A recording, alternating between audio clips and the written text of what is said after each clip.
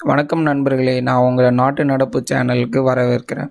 இன்றைக்கி நம்ம வீடியோவில் என்ன பார்க்க போகிறோம் அப்படின்னா கொரோனா வேக்சினேஷன் போடுறதுக்கு முன்னாடி அப்படி இல்லைன்னா கொரோனா வேக்சினேஷன் போட்டதுக்கு பிறகு மது அருந்தலாமா கூடாதா? இதை பற்றி டாக்டர்ஸ் என்ன சொல்கிறாங்க அப்படின்றது தான் இந்த வீடியோவில் நம்ம டீட்டெயில்டாக பார்க்க போகிறோம் இந்த கொரோனா வேக்சினேஷனை தயாரிக்கிற எந்த நிறுவனமும் இதை பற்றி தெளிவாக எதுவுமே சொல்லலை. எந்த நாடும் இதை பற்றின சட்டமும் இயக்கலை.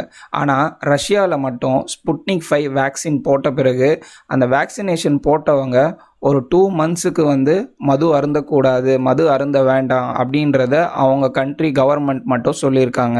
நார்மலாகவே நம்ம ஒரு வேக்சினேஷன் போட்ட பிறகு நம்ம உடம்புல வந்துட்டு ஒரு நோய் எதிர்ப்பு சக்தி வந்துட்டு உருவாகுங்க. ஆனால் ஒரு வேக்சினேஷனை போட்ட பிறகு நம்ம மது அருந்துனா அது என்னென்ன ரியாக்ஷன்ஸை நம்ம உடம்புல உண்டு பண்ணுது அப்படின்றத கண்டுபிடிக்கிறதுக்காக ரஷ்யா கவர்மெண்ட் வந்துட்டு ஒரு எக்ஸ்பெரிமெண்ட் பண்ணாங்க. அந்த எக்ஸ்பெரிமெண்ட் என்னென்னா இந்த ஆராய்ச்சியை ரஷ்யா கவர்மெண்ட் குரங்குங்களை வச்சு செஞ்சுருக்காங்க. குரங்குங்களை அவங்க ரெண்டு குரூப்பாக ஃபஸ்ட்டு வந்து பிரிச்சுட்டாங்க.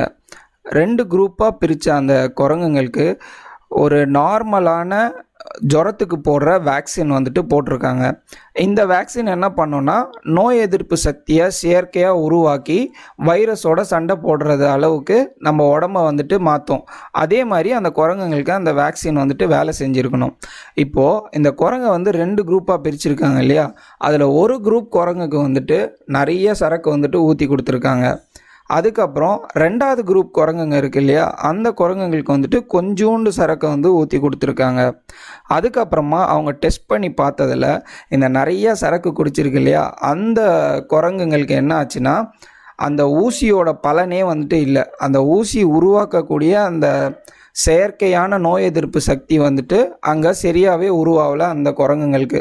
ஆனால் கம்மியாக மது சார்ந்துச்சு இல்லையா? அந்த குரங்குங்களுக்கு என்ன ஆயிருக்குன்னா அந்த ஊசி வந்து கரெக்டாக வேலை செஞ்சுருக்கு. செயற்கையான நோய் எதிர்ப்பு சக்தியை ரொம்பவே நல்லா வந்துட்டு உள்ளே உருவாக்கியிருக்கு. இதுலேருந்து என்ன தெரிஞ்சுக்கிட்டாங்கன்னா நம்ம வேக்சினேஷன் போட்ட பிறகு அந்த வேக்சின் வந்துட்டு நோய் எதிர்ப்பு சக்தியை வந்து உண்டாக்கும்.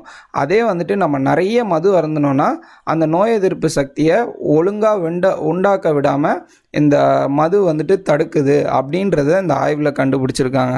நம்மலாம் ஒரு சில ஃப்ரெண்ட்ஸுங்க சொல்லி கேட்டிருப்போம். நம்ம வந்துட்டு மது அருந்தினோன்னா நம்மளோட நோய் எதிர்ப்பு சக்தியை அதிகமாக்கும்.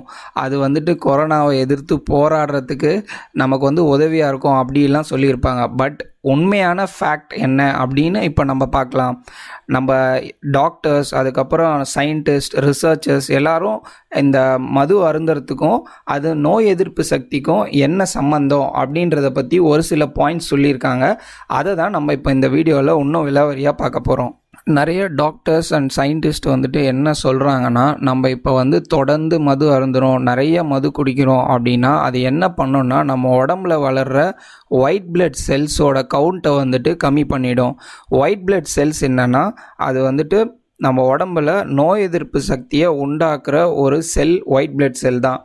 அந்த ஒயிட் பிளட் செல்லோட கவுண்ட்டையே வந்துட்டு இந்த மது வந்துட்டு குறைச்சிரும் அப்படின்னு சொல்கிறாங்க ரெண்டாவது பாயிண்ட் என்ன சொல்கிறாங்க அப்படின்னா நம்ம வந்து நிறைய மது அருந்தணும்னா நம்ம வயிற்றுக்குள்ளே இருக்கிற நல்ல பாக்டீரியாஸை நம்ம தொண்டையில் வயிற்றில் ரெஸ்பிரேட்டரி ஆர்கனில் இருக்க நல்ல பாக்டீரியாஸை கூட இந்த மது வந்துட்டு சாவடிச்சிருமா. இப்போ நல்ல பாக்டீரியாஸ் வந்துட்டு இறந்து போச்சு அப்படின்னா நம்மளோட அந்த நோய் எதிர்ப்பு சக்தி வந்துட்டு குறையறதுக்கு நிறையவே வாய்ப்பு இருக்குது அப்படின்னு சொல்கிறாங்க மூணாவதாக என்ன பாயிண்ட் சொல்கிறாங்கன்னா சைட்டோசைன் அப்படின்ற ஒரு புரோட்டீன் வந்துட்டு நம்மளோட உடம்புல இருக்கான் அந்த புரோட்டீன் வந்துட்டு நம்ம மது அதிகமாக அருந்தணும்னா இறந்துரும் அப்படின்னு சொல்கிறாங்க அந்த புரோட்டீன் வந்துட்டு நம்ம உடம்புல என்ன வேலை செய்யுது அப்படின்னா இப்போ வேறு ஏதாவது ஒரு வைரஸ் வந்துட்டு நம்ம உடம்புக்குள்ளே வருதுன்னா இந்த மாதிரி ஒரு புது வைரஸ் வந்து நம்ம உடம்புக்குள்ளே நுழையுது அப்படின்னு சொல்லிட்டு ஒரு அலர்ட் ஒரு அலாரம் மாதிரி வந்துட்டு நம்மளோட நோய் எதிர்ப்பு சக்திக்கு தெரிவிக்கிறதே வந்து சைட்டோசைன் அப்படின்ற ஒரு ப்ரோட்டீன் தான்.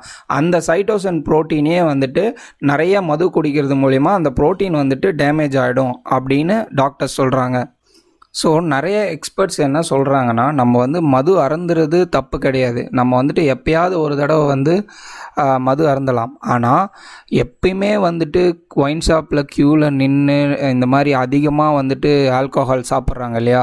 அவங்களுக்கு வந்துட்டு கண்டிப்பாக இம்யூன் சிஸ்டம் ரொம்பவே டவுனாக இருக்கும். நான் ஏன் இந்த வீடியோவை வந்துட்டு இந்த கான்செப்டை இன்றைக்கி எடுத்தேன்னா நம்மளில் நிறைய பேர் இப்போ வரைக்குமே நினச்சிட்டு இருக்கோம். சானிடைசரில் கூட ஆல்கோஹால் யூஸ் பண்ணுறாங்க அதனால ஆல்கோஹால் வந்துட்டு நம்ம நிறைய குடித்தோன்னா அது வந்து கொரோனாக்கு நோய் எதிர்ப்பு சக்தியை நம்ம உடம்புல உருவாக்கும். அப்படிலாம் வந்துட்டு தப்பான எண்ணத்தில் வந்து நிறைய பேர் மது நிறையவே குடிக்கிறாங்க.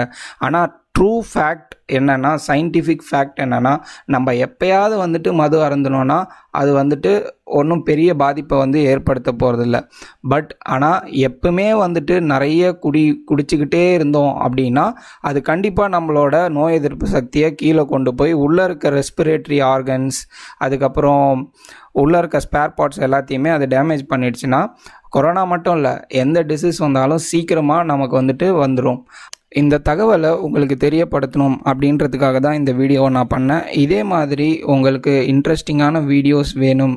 அதே மாதிரி டெய்லி வந்துட்டு நாட்டு நடப்பை பற்றி தெரிஞ்சுக்கணும் அப்படின்னு ஆசைப்பட்டீங்கன்னா இந்த சேனலுக்கு சப்ஸ்கிரைப் பண்ணுங்கள் டெய்லி நான் இதில் வந்துட்டு இதுக்கப்புறம் நாட்டு நடப்பை பற்றி ஒரு வீடியோ கண்டிப்பாக போஸ்ட் பண்ணுவேன்.